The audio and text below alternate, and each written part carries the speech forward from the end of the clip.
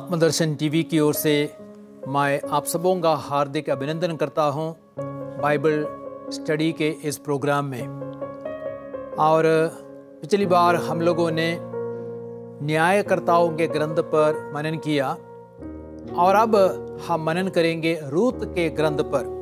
रूत का ग्रंथ एक छोटा सा ग्रंथ है, इसमें मात्र चार अध्याय है। रूत के ग्रंथ के अध्ययन में मैं सात मुख्य बिंदुओं पर प्रकाश डालना चाहता हूँ। सबसे पहले प्रस्तावना इस ग्रंथ को क्यों रूत का ग्रंथ कहा गया है? दूसरा, रूत के ग्रंथ का लेखक।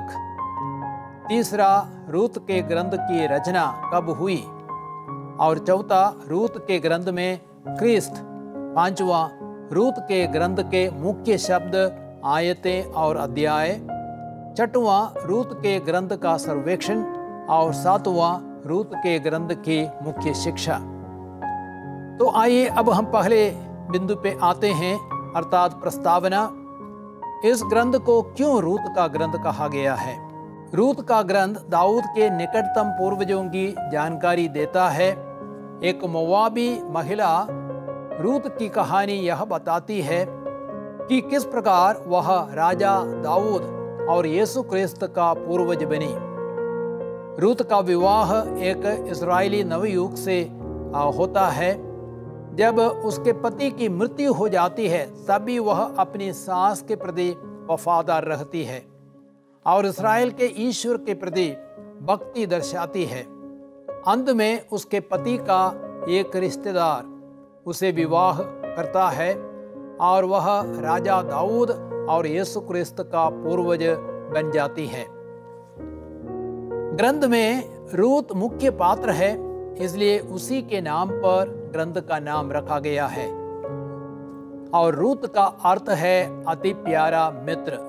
पुरुष प्रधान समाज में यह बहुत महत्व की बात है। और दूसरा मुख्य बिंदु है रूत के ग्रंथ का लेखक। लेखक का नाम ग्रंथ में कहीं भी नहीं दिया गया है तालमूद परंपरा नबी सामुवल को लेखक का श्रेय देती है लेकिन इसकी संभावना बहुत कम है क्योंकि दाऊद का नाम रूत के ग्रंथ में आता है अध्याय चार वाक्य संख्या सत्रह और बाईस और सामुल दाऊद के राज्याभिषेक पहले गुजर गया था अमोल का पहला ग्रंथ अध्याय 25 वाक्य संज्ञा एक और एक तीसरा सवाल उठता है रूत के ग्रंथ की रचना कब हुई? कुछ विद्वानों का मानना है कि रूत का ग्रंथ दाऊद के शासन काल में लिखा गया, क्योंकि दाऊद की वंशावली में सुलेमान का नाम नहीं है। अन्य विशेषज्ञ मानते हैं कि ये ग्रंथ की रचना दाऊद के शासन के बाद, परंतु निर्वासन के पहले हुई। कई विद्वान सोचते हैं कि रूत की कहानी एक उपदेशात्मक कृति है। जो जीवन में वफादारी और उदारता पर ज़ोर देती है। अब हम चौथे बिंदु में आते हैं, रूत के ग्रंथ में क्रिस्त। निकट संबंधी उद्धारकर्ता की संकल्पना या किन्समैन रिडीमर और गोयल इसके बारे में अध्याय तीन, नौ में हम पढ़ते हैं, यह निकट संबंधी उद्धारकर्ता क्रिस्त के उद्धारकारी की ओर इंगित करता है। निकट संबंधी उद्धारकर्ता जिसका भी उद्धार करता है उससे उसका रक्त संबंध होना है। विधि विवरण ग्रंथ अध्याय 25 वाक्य संख्या पाँच में हम पढ़ते हैं। साथ ही साथ इब्रानी दो, चौदह और पंद्रह में क्रिस्त के बारे में हम पढ़ते हैं। किस प्रकार वह उद्धार करता बन गया? और दूसरी योग्यता थी उद्धारकर्ता बनने के लिए उद्धार की कीमत चुकाने की क्षमता होनी है। और बॉस जो उद्धार करता है, वह धनी व्यक्ति था और रूत के ग्रंथ अध्याय दो, एक में, और पेतरुस का पहला पत्र दिया एक, अठारह, उन्नीस में हम इन बातों को पढ़ सकते हैं। और उद्धारकर्ता बनने के लिए तीसरी योग्यता थी उद्धार करने की राज़ी होना है। रूत का ग्रंथ अध्याय तीन, वाक्य संज्ञा ग्यारह और तेरह में हम पढ़ते हैं। और मती के सुसमाचार अध्याय बीस अट्ठाईस में इस बात को हम पढ़ सकते हैं। और चौथी योग्यता, स्वयं मुक्त होना है और क्रिस्त पाप के शाप से मुक्त था निकट संबंधी उद्धार करता यानी गोयल, यह शब्द तेरह बार रूत के ग्रंथ में पाया गया है और यह क्रिस्त की ओर इशारा करता है। अब हम पाँचवें मुख्य बिंदु में आते हैं। अर्थात रूत के ग्रंथ के मुख्य शब्द, आयतें और अध्याय कौन से हैं? तो मुख्य शब्द है निकट संबंधी उद्धारकर्ता या किन्समैन रिडीमर और उसका इब्रानी शब्द है गोयल। निकट संबंधी उद्धारकर्ता का इब्रानी शब्द गोयल है और ये शब्द तेरह बार रूत के ग्रंथ में पाया गया है। गोयल का अर्थ है वह जो उद्धार करता है। यानी किन्समैन रिडीमर नोमी की ज़मीन को खरीद कर और रूत से विवाह कर और उससे संतान उत्पन्न करके बॉस ने उद्धारकर्ता का काम किया। अब हम देखते हैं मुख्य पद कौन सा है। अध्याय एक, सोलह और अध्याय तीन, ग्यारह। अध्याय एक, वाक्य संख्या सोलह में कहा गया है, किंतु रूत ने उत्तर दिया, इसके लिए अनुरोध ना कीजिए। कि मैं आपको छोड़ दूँ और लौट कर आपसे दूर हो जाऊँ। आप जहाँ जाएगी, वहाँ मैं भी जाऊँगी। और आप जहाँ रहेगी, वहाँ मैं भी रहूँगी। आपकी जाति मेरी भी जाति होगी और आपका ईश्वर मेरा भी ईश्वर होगा। एक मोबी स्त्री के मुँह से कितनी सुंदर बात निकली। रूत का यह कथन अपनी सांस नोमी यहूदी जाति और इसराइल के ईश्वर के प्रति उसके प्रेम, वफादारी एवं श्रद्धा को दर्शाता है। रूत हर बहू के लिए एक बहुत बड़ा आदर्श प्रस्तुत करती है। और अगला मुख्य पद है अध्याय तीन, वाक्य संख्या ग्यारह। वहाँ पे बोवस रूस से कहता है, बेटी, अब तुम नहीं डरो, तुम जो कुछ मांगेगी मैं वह सब तुम्हारे लिए करूँगा। क्योंकि नगर के सब लोग जानते हैं कि तुम एक सातवीं स्त्री हो। तो यहाँ हम देखते हैं, बोआस की दया को देखते हैं, उसकी करुणा को देखते हैं। साथ ही साथ नोमी का निकट संबंधी होने के कारण उसकी भूमि का उद्धार करने और से विवाह करने के लिए उसकी तत्परता को भी हम देखते हैं। अब इस ग्रंथ में मुख्य अध्याय कौन सा है? मुख्य अध्याय है अध्याय चार। इसराइलियों की प्रथा के अनुसार इसराइल स्थायी रूप से अपनी ज़मीन बेच नहीं सकता था। यदि कोई ऋण के कारण अपनी ज़मीन बेचता तो उसके सबसे निकट संबंधी को अपने भाई की ज़मीन खरीदनी थी। लिवि ग्रंथ अध्याय 25 वाक्य संख्या 25 से 34 तक में ये बात लिखी गई है। इस प्रथा के अनुसार बॉस ने नोमी के पति एली मेलेक और उसके पुत्र किलियोन और मखलोन का सारा भूभाग खरीद लिया और उसका उद्धार किया। बोवास ने रूत को अपनी पत्नी के रूप में अपनाया। बोवास का उससे संसर्ग हुआ। प्रभु की कृपा से रूत गर्भवती हो गई और उसने पुत्र को प्रसव किया और उन्होंने उसका नाम ओबेद रखा।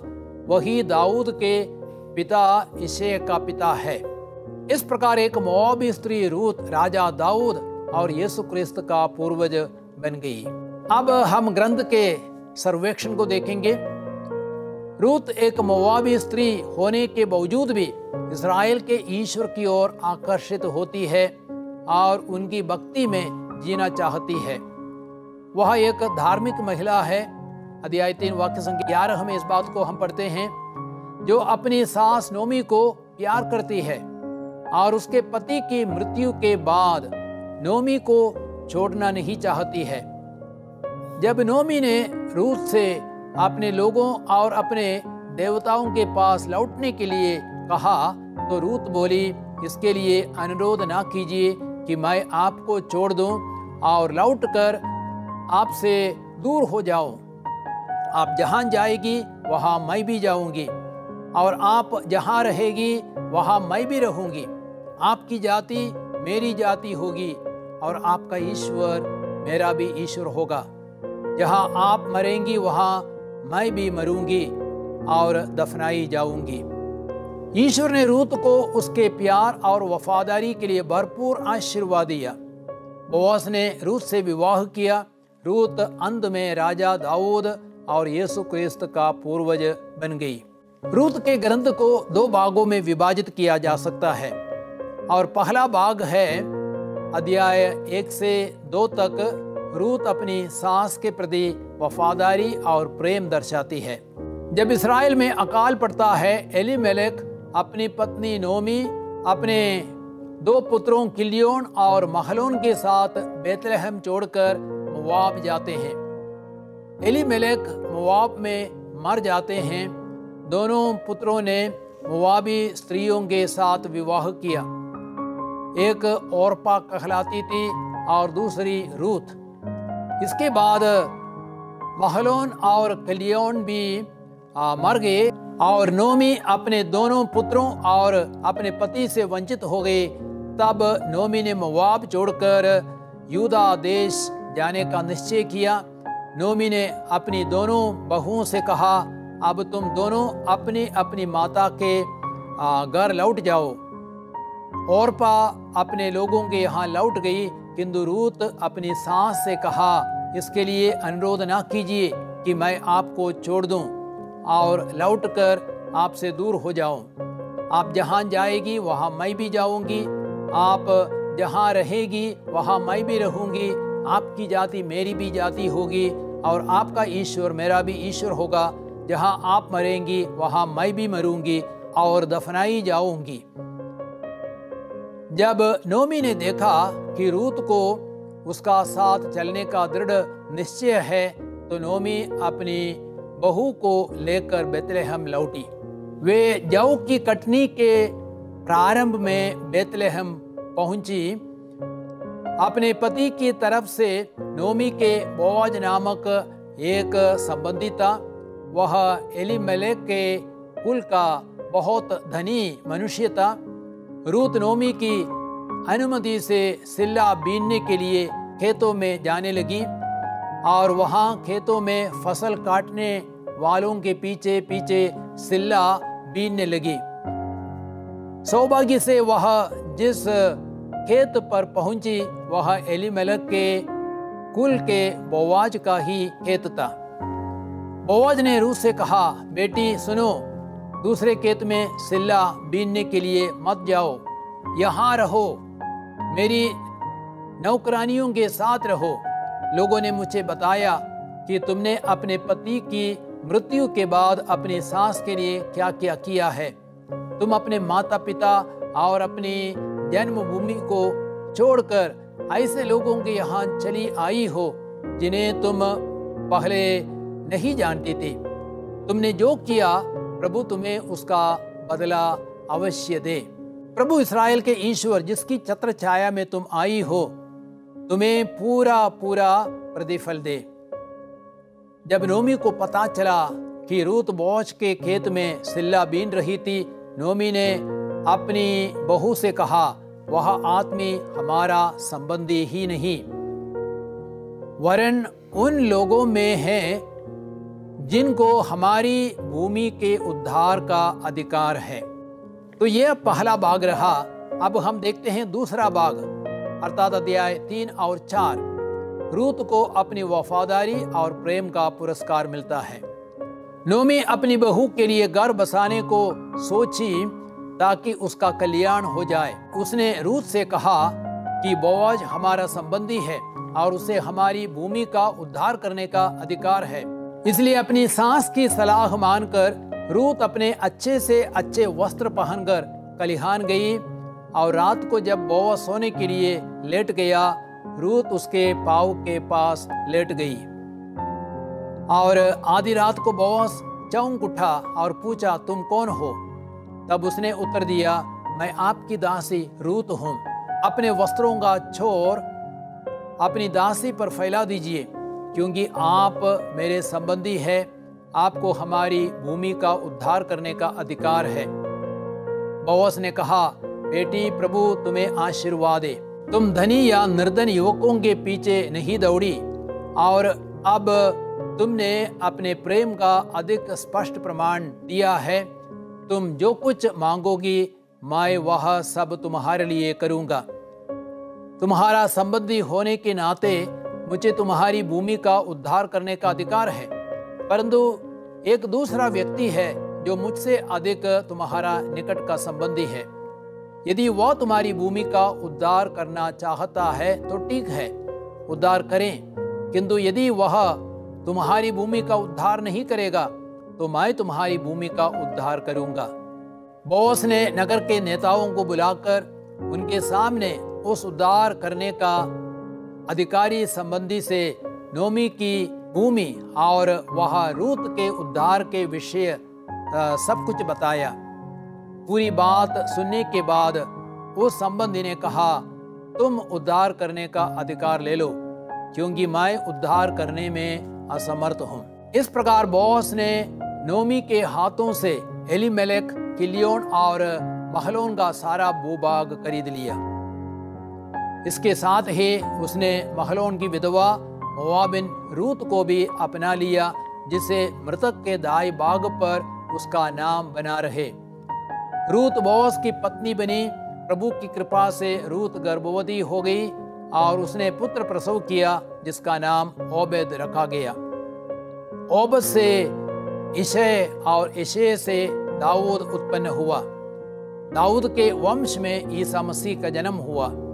इस प्रकार मोबिन रूत, राजा दाऊद और ईसा मसीह का पूर्वज बन गई। तो हमने ग्रंथ का सर्वेक्षण देखा, अब सातवां बिंदु है, हमारे लिए रूत का ग्रंथ कौन सी शिक्षा देता है? रूत का जीवन हमें सिखाता है कि ईश्वर की नज़रों में वफादारी, प्रेम और सेवा का बड़ा महत्व है। इन दिनों सास और बहू के बीच में अक्सर लड़ाई झगड़ा होता है। बहू अपनी सास के साथ रहना नहीं चाहती है और उसकी सेवा करना नहीं चाहती है। लेकिन मोवाबिन रूत एक अपवाद थी। पति की मृत्यु के बावजूद भी वह अपनी सांस से लिपटी रही और उसे प्यार करती रही। अपनी सांस के साथ बेतलहम लौटने के बाद भी संभवतः उसे यहूदियों से निंदा तिरस्कार एवं अपमान सहना पड़ा। लेकिन वह इसराइल के ईश्वर में विश्वास करती रही। अंत में प्रभु ने उसे महान आशीर्वाद दिया। वह राजा दाऊद और यीशु क्रिस्त का पूर्वज बन गई। तो आपने रूत के ग्रंथ पर मनन किया। तो इन बातों पर आप अवश्य मनन करें। और अगले एपिसोड में हम देखेंगे सामूल का पहला ग्रंथ।